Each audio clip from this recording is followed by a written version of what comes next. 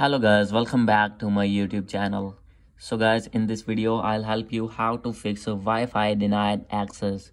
So guys if you are using any android phone oppo realme or any other and when you have connect with wi-fi facing this type of issue that your wi-fi network is denied access. So guys easily you can fix this problem. So let's get started without wasting any time. So guys first of all you have to go back. So guys after going to back simply you need to open your settings on your android device. And guys after this you have to click on your wi-fi. And guys simply you have to click on here the option of wi-fi preferences. So guys when you have click on this then guys you need to hit the option of turn on automatically.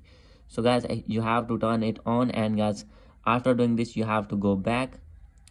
So guys you have to click on advanced option. And guys you need to click on saved networks.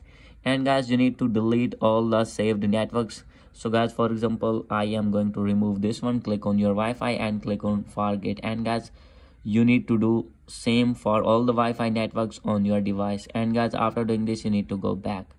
And guys you have to scroll it below. Here you will see the option of system. And guys you need to click on reset phone. And here is the option of reset wi-fi settings so guys simply you have to reset your wi-fi settings and guys after this your problem will be fixed and you will be able to connect with any wi-fi without any interruption. So guys after doing all the methods if still not fix your problem then guys maybe you are blocked on your wi-fi network.